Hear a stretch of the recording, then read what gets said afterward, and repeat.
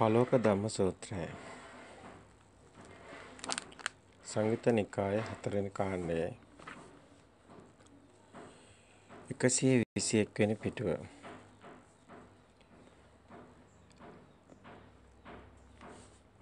පලෝක ධම්ම සූත්‍රය ආශ්මත් ආනන්ද තෙරණුව භාග්‍යවතුන් වහන්සේ කරා එළඹිය එකත් පස්සවුන් ආශ්මත් ආනන්ද තෙරණුව භාග්‍යවතුන් වහන්සේට තෙල කරුණ සැලකලහ.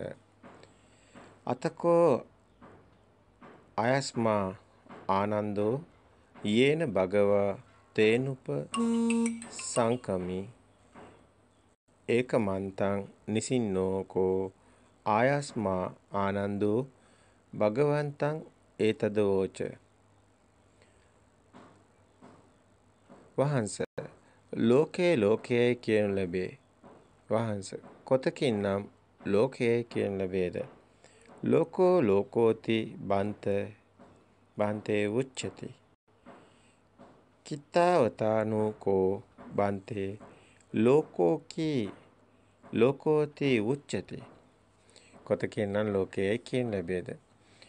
ආනන්දයනි යමෙක් බිඳෙන සැහැවි ඇද්ද ආර්ය විනයෙහි මේ ලෝකයයි කියනු ලැබේ. යම්කෝ ආනන්ද පලෝක ධම්මං අයං උච්චති අරියස්ස විනයේ ලෝකෝ. බින්දෙන සුළු බැවින් ලෝකයයි කියනු ලැබේ. මෙන්න මේක තමයි බුදුන් වහන්සේ මේ ලෝකයේ පෙන්වන ආකාර. පලුජ්ජති නම් ලෝකයයි කියනු ලැබේ. පලෝක ධම්මං බින්දෙන සුළු නම් ලෝකයයි කියනු ලැබේ. මේ විදිහට බුදුන් වහන්සේ ලෝකය කියලා කියන්නේ මේ ස්පාක් වෙන නිසා මේ 5 senses වල ස්පාක් එක නිසා ලෝකේ හටගන්න කියන බවයි. මේක මේ නවයෝන් තරුණයෙකුට මේ යුගයේ ගොඩක් මේ භාෂාව කතා කරන භාෂාවෙන් තමයි අපි මේ ධර්මයේ sannivedanaya කරන්න ඕනේ. එතකොට මේ පලෝක ධම්මං කිව්වට දැන් ඉන්න තරුණයෙකුට මේක තේරෙන්නේ නැහැ. නවයෝන් තරුණයෙකුට දැන් ඉන්න දරුවෙකුට මේ ධර්මය අපි කොහොමද කියලා දෙන්න ඕනේ. ඒ දරුවට තේරෙන භාෂාවයි. එහෙනම් අපි ඒ දරුවට තේරෙනවා මේ සෙන්සර්ස් කියනකොට මේ සෙන්සර්ස් වල ස්පාක් වෙනවා කියනකොට ඒ දරුවා දන්නවා. මෙන්න මේ මෙන්න මේකමයි මෙතන සිද්ධ වෙන්නේ. ඇත්තටම රුප්පන්තිකෝ ආවසෝ රූපං වදේති. රුප්පනේ නිසා ලෝකේ කියනවා. පළුදු වෙන නිසා ලෝකේ කියනවා. පලුජ්ජති ලෝකං වදේති. පලෝක ධම්මං ලෝකං බුදුන් වහන්සේ ලෝකේ ලෝකේ කියලා කියන්නේ මේ ඇස බින්දෙන සුළුයි මහණෙනි. එතනින් මේ ලෝකය කියන්නේ. ඒ කියන්නේ ඇස ප්‍රසාද වෙනවා. ආලෝකයට හිරු එළියට කණ්ණාඩියක් ඇල්ලුවහම දිලිසෙනවා. අනේ දිලිසෙන එක ඉද්දෙන එකයි ලෝකය කියන්නේ. ඇස කන දිව නාසය කය කියන මෙන්න මේ ආයතන පහ ප්‍රසාදවත් වීම නිසා මේ සෙන්සර්ස් වල ස්පාර්ක් වීම නිසා ඒ ඇස වර්ණයට ප්‍රසාද වෙනවා කන ශබ්දයට ප්‍රසාද වෙනවා එතකොට නාසයේ ගන්ධයට ප්‍රසාද වෙනවා. දිව රසට ප්‍රසාද වෙනවා. කය උණුසුම සීතල තද ගතිය ප්‍රසාද වෙනවා. එතකොට ඔබට මේ උණුසුම දැනෙන්නේ සීතල දැනෙන්නේ තද ගතිය දැනෙන්නේ ත්‍රිමාණ වෙන්නේ මෙන්න මේ ප්‍රසාද නිසා. එතකොට මේ වර්ණ කොහෙවත් එළියේ තියෙනව නෙමෙයි. වර්ණ ඔබගේම ඇසේ යෂ්ටි සෛල කේතු සෛලවල නිර්මාණයක්. ඒ තරංග ආයාම වැඩි එක අඩු එක මේ සෛලවල මේ ඇස විසින්මයි මේ සාදාගන්නේ. ඒ වගේමයි ඒ ආලෝක හැඩතල අර හිරු එළිය වැටෙනකොට එන කිරණ වගේ. ඒ නමුත් මේ වර්ණ හැඩතල සාදාගන්නේ ඔබගේම මේ මේ ඇස කියන ආයතනයේ කෘත්‍ය තුලින්. ඒ වගේම තමයි කන කියන්නේ. කර්ණ සංඝ පටල හෙල්ලෙන එක තමයි අපි කම්බරේ හෙල්ලෙනවා කියලා කියන්නේ සාමාන්‍ය. ඒකට තමයි අපි කියන්නේ ශබ්දය කියලා. එතකොට ශබ්දකවත් එළිය තියෙන එකක් නෙමෙයි. ඒ වේගයක් තමයි අපිට හැමතිස්සෙම නිරූපණය වෙන්නේ. ඒ කියන්නේ ඇසට ඇවිල්ලා වදින්නේ කිරණයක් අපි දකින්නේ වර්ණයක්. අන්න වගේ. කනට ඇවිල්ලා වදින්නේ කිරණයක් අපිට ඇහෙන්නේ ශබ්දයක්. මේ ශබ්ද අපේ විඥාන මායාව ඇතුලෙන් හදාගත් එකක්. එතකොට අපි මේ වර්ණ මේ විඥාන මායාවේ අපේ දැන ගැනීම සිද්ධ වෙන්නේ. දැන ගැනීම තමයි විඥාන මායාව කියන්නේ. එතකොට වර්ණ අපි හදාගත් එකක්. අපි කියලා කිව්වට මෙතන පුජ්‍යල භාවයෙන් ගන්න එපා. මේ ඇස කියන ආයතන කෘත්‍යයේ නිර්මාණයක් තමයි වර්ණ. ඒ වගේම කන කියන ආයතන කෘත්‍යයේ නිර්මාණයක් තමයි ශබ්ද. ඒකයි මේ ආයතන කෘත්‍යයක් කියන්නේ. අස ආයතනය, කන ආයතන, සල ආයතන. අස කන දිව නාසය කය. මේවා ශබ්ද වර්ණ. ඇසට අපි වර්ණ හදා ගන්නවා. කනට ශබ්ද හදා ගන්නවා. එතකොට ආයතන විදිහට. එතකොට ශබ්ද වර්ණ එකට ඒ මොහොතේම එන එක තමයි එකතු වෙනවා කියන්නේ. නැත්නම් මේ 아무තේ එකතු කරන දෙයක් නෙමෙයි. ඒක එක මොහොතේම එන එක නිසා එකතු වෙනවා. ඒක සබහාදාමි සිද්ධිය. එතකොට එකතු වෙන එකයි අපි සංඛාරක් කියන්නේ. එකතු වුණොත් තමයි දෙයක් නිරූපණය කරන්නේ. ඒකයි සබ්බේ සංඛාරක් කියන්නේ. දැන් ඇහැට අර පුංචි දරුවා මොන්ඩිසෝරි යනකොට අපි කියන්නේ මේ පුතේ රතු පාට. ඇහැට දෙනවා වර්ණේ. කන්ට දෙනවා ශබ්දේ රතු පාට. Red, yellow, blue.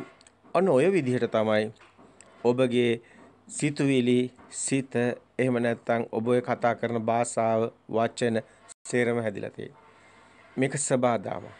මෙතන ආත්ම කතාවක් ඇත්තටම නැහැ. මේ විදිහට තමයි ඔබට මේ විශාල ප්‍රමාණයක් මේ විදිහට ඔය ඔය දාපු සංඥා තමයි ඔබ මේ සිතුවිලි විදිහට පරිහරණය කරන්නේ. මේ ඔබ බලයි ආයෙත් මව් කුසෙන් ආවන කෙනෙක් එහෙම නෙමෙයි. එහෙම දකින්න එපා. ජාති ජම්ම සූත්‍රයේ ඒකයි බුදුන් වහන්සේ කිව්වේ ඇසේ උපතයි මහණෙනි උපස ආයතනයේ උපතයි උපත ඒ ස්කන්ධේ වේදනා සංඥා සංකාර වේදනා කිව්වේ ආලෝක හැඩතලයයි විඳීම. ඒ වේදනාවේ සංඥාව දැනගෙන වේදනා සංඥා වෙන් කරන්න බෑ කිව්වේ ඒකයි. ඒකයි එතකොට වේදනා සංඥා එකතු වෙලා හැදෙන එකයි සංඛාරා එකතු වීමයි. එහෙමයි එහෙනම් දැන ගැනීම වේදනා සංඥා සංඛාර විඥාන කිව්වේ ඒකයි. රූප වේදනා සංඥා සංකාර විඥාන කියන්නේ රූප කියන්නේ රූපාරම්මණයටයි. ඒකයි අපි කිව්වේ. රූප වේදනා සංඥා සංකාර විඥාන කියන්නේ ස්කන්ධය කියන්නේ ඇහැට එන්නේ යම් වර්ණ හැඩ කිරණයක්ද? ඒ කිරණේ එතකොට රූපාරම්මණයක් එහෙනම් ඒ ආරම්මණයයි රූපාරම්මණයයි රූප කිව්වේ එහෙනම් ඒයි වේදනා සංඥා විඳීමයි කිරණයයි සංඥාවයි වර්ණ හදා ගන්න එක සංකාර කියන්නේ අර ශබ්දය දැම්මොත් තමයි කහ පාට රතු පාට කියලා දාන්නේ. අන්න අන්න අපි දැනගත්ත කියන්නේ විඥාන මායාව. මේක මනෝ විඥානය කියන්නේ ශබ්ද වර්ණ ගන්ධ රස පාස් උණුසුම ආයතන වල එකතුවයි මනෝ විඥාන. ධම්ම. මනසන්ත පටිච්ච ධම්මේ සුප්පජ්ජේ මනෝ විඥාන. මනසට බාහිර දේවල් අරමුණු වෙන්නේ. මනසට අරමුණු වෙන්නේ මෙන්න සංඥා ටිකයි. ශබ්ද වර්ණ සංඥා විදිහටයි. දැන් මේ කතාව පැහැදිලි. අන්නේ විදිහටයි අපි පොත දැක්කේ. පොත දැක්ක කියන්නේ ಜಾති හටගත්තා. ස්කන්ධානම් පාතිභාව අන්නේ ස්කන්ධේ වේදනා සංඥා සංකා. අපි අර කිව්වේ එන්නේ කිරණයක් වේදනාවක් විඳීමක් සංඥාවක් එයමයි එතකොට සංඛාර එකතු වෙනවා කියන්නේ ඒකටමයි ඒමයි දැන ගැනීම විඥාන කිව්වේ. වේදනා සංඥා සංකාර කියන ස්කන්ධය කියන්නේ 아무 දෙයක් නෙමෙයි මේ පැහැදිලි කිරීමයි. එතකොට ඒක ඇසේ උපත කියලා කියවේ. අන්න ස්කන්ධානම් පාති බව ආයතන අන ආයතනේ කෘත්‍ය වර්ණ හදාගත්තා. අන්න ඒකට ශබ්ද වර්ණ එකතු වුණා අනිත් ආයතන වල ඒවා අන්න මනෝ විඥානික කියවා. ස්කන්ධානම් පාති බව ආයතන අපට අයං උච්චති ಜಾති කිවියෝ නෝකයි. අන්න පලෝක ධම්මම් කන බින්දෙන දැන් මේ කනට එන වේගය ඇවිල්ලා වදිනකොට හුලගක් හරි මොන හරි වේගයක් ඇවිල්ලා වදිනකොට කම්බරේ හෙල්ලෙන්නේ අන්න ඒකයි පලෝක ධම්ම බින්දෙනවා. අන්න ඒකයි බින්දෙනවා කියලා කිව්වේ. අන්න එතන එතන ස්පාක් වෙනවා කියන එකයි. ඒකයි 5 senses වල ස්පාක් වෙන එකයි ලෝකේ හැදෙන්න හේතුව. දැන් තියෙන භාෂාවෙන් තරුණයෙකුට කියනවා නම් බොහොම සරලව ඒක වැටහෙනවා. ඒකමයි මේ කියන්නේ පලෝක ධම්මං කියලා. බිඳෙන සුළු හේයින් ලෝකයයි කියන ලැබේ කියලා. ආනන්දේනි යමෙක් බිඳෙන සැහැවි ඇද්ද ආර්ය විනෙහි මේ ලෝකයයි කියනු ලැබේ. යම්කෝ ආනන්ද පලෝක ධම්මං අයං උච්චති අරියස්ස විනේ ලෝකෝ අන ලෝකය හැදෙන හැටි කියනවා.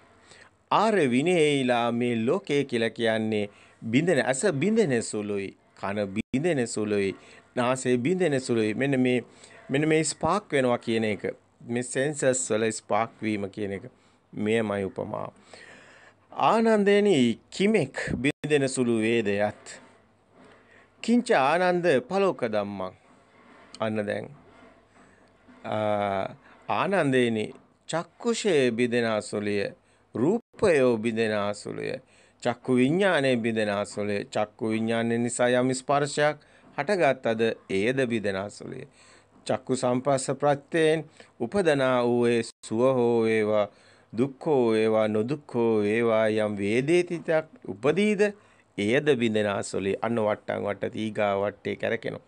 දෙයක් කියලා දන්න ගන්නකොටම ඒකට වේදනාවක් වටිනාකමක් ඇලීමක් අන්න එතන උපාදානයක් තණ්හා ජාජරා වන සේරම තියෙන්නේ. මෙන්න මේ බින්දෙන සුළු හේයින් ඒ රූපය බින්දෙන සුළුය. එතන ඔබට කිමෙක් බිඳෙන සුළු වේද ආනන්දේනේ චක්කුෂේ බිඳෙන සුළු ඇස බිඳෙන සුළු රූපය බිඳෙන සුළු විඥානයේ බිඳෙන සුළු චක්කු විඥානයේ බිඳෙන සුළු සක්කු සම්පස්ස චක්කු ස්පර්ශයේ බිඳෙන සුළු චක්කු සම්ප්‍රත්‍යයෙන් හටගත් ඒ වේදනා ඒ සියල්ලම තණ්හා උපාදාන හැදෙන හේතුව. ඒ ඒ සුව වේදනා දුක් වේදනා ලෝකේ සියල්ලම හටගෙන තියෙන බිඳෙන සුළු බැවිනු ආනන්දේ. අන්න එයයි පැහැදිලි කිරීම. එතකොට චක්කුංකෝ ආනන්ද පලෝක ධම්මං රූපා පලෝක ධම්මං චක්කු විඥානං පලෝක ධම්මං චක්කු විඥාන පස්සය පලෝක ධම්මං යම්පිදං චක්කු සම්පස්සපච්චය උපජ්ජති වේදේතං සුඛං වා දුක්ඛං වා දුක්ඛම සුඛං වා තම්පි පලෝක ධම්මං කියලා බුදුන් වහන්සේ මෙන්න ලෝකය හදාගත්තේ බින්දෙන සුළු බැවිනුයි කියලා අන්න 5 senses වල ස්පාක් වීමයි මේ සියලුම ආත්මීය දැනීම ඇති වෙන්න හේතුව දැන් ඔබට මේ පැහැදිලි වෙනවා.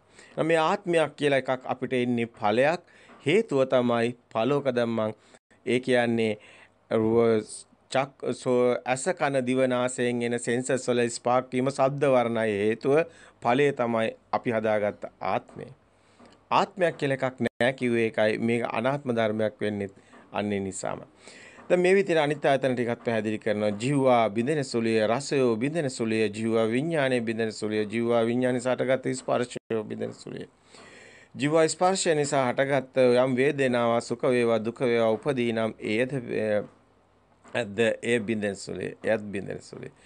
මනස බින්දෙන සුලිය ධර්මයෝ බිඳෙන සුළුය මනෝ විඥානයේ බිඳෙන සුළුය මනෝ සම්පස්සයෙන් බිඳෙන සුළු ඒ ස්පර්ශයක් හටගනේද? ප්‍රත්‍යයෙන් උපදනා ඌ යම් වේදේතේ එකක් වේද ඒද බිඳෙන සුළුය ආනන්දේනේ යමෙක් බිඳෙන සුළු වේද?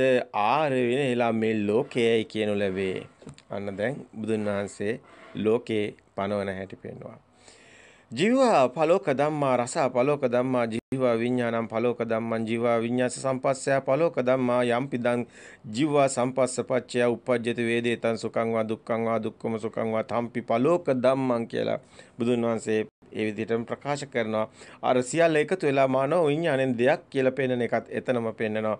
මනෝ පලෝක ධම්මා ධම්මා පලෝක ධම්මා මනෝ විඥානං පලෝක ධම්මං මනෝ සම්පස්සපච්චා පලෝක ධම්මා යම්පිදම් මනෝ සම්පස්සපච්චා උපජ්ජති වේදේතං සුඛං වා දුක්ඛං වා දුක්ඛම සුඛං වාපි තම්පි පලෝක ධම්මං යේ කෝ ආනන්ද යං කෝ ආනන්ද පලෝක ධම්මං අයං උච්චති අරියස්ස විනේ ලෝකෝති ආර විනේලා මේ ලෝකයයි කියන ලැබේ. ඉතින් බුදුන් වහන්සේ මනාකොට පෙන්ලා දෙනවා. ඉතින් පරම සත්‍ය කිසි කෙනෙකුට වෙනස් කළ නොහැකි. මේ ඇස, කන, දිව, නාසය, කය මෙන්න මේ ආයතන වලින් එන්නේ වර්ණ, ශබ්ද, ගන්ධ. මේවා එකතු වෙලා අපි ආත්මයක් හදාගෙන තියෙන්නේ. අපිට ආත්මීය දැනීම ඇති වෙන්න වෙන දේවල් නැහැ.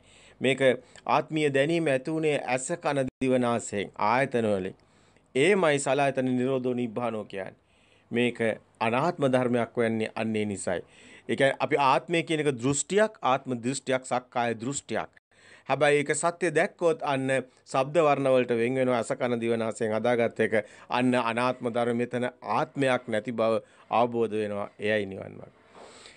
අන්න පලෝක ධම්ම සූත්‍රය තුළ ඔබට නිවන් මඟ හොඳින් දකින්න ලැබෙනවා. එහෙමනම් ඔබ බොහොම පැහැදිලිව බුද්ධ දේශනෙටම ඔබට පැහැදිලි වෙන අනුගතවම මේ ආත්මයක් නැති ධර්මයක් අනාත්ම ධර්මයක් කොහොමද මේ අසකන දිවනාසයෙන් හදාගත් එකක් මේ මව් කුසෙන් ආපු ආත්ම කතාවක් නැති බව මේ තුලින් ඔබට හොඳින් වැටහෙනවා. එවනම් ඔබට මේ ඔබගේම ලෝකෙට බැසගත්තේ අවිද්‍යාව, මෝහ ඝන අන්ධකාරයෙන් මිදෙන්න ඔබගේ ඒ ඒ අවිද්‍යාව අශේෂ විරාග නිරෝධෝ කියන නිවන් මඟ ඔබට හමුවන්නේ ඒ සත්‍ය දකිනා විටයි.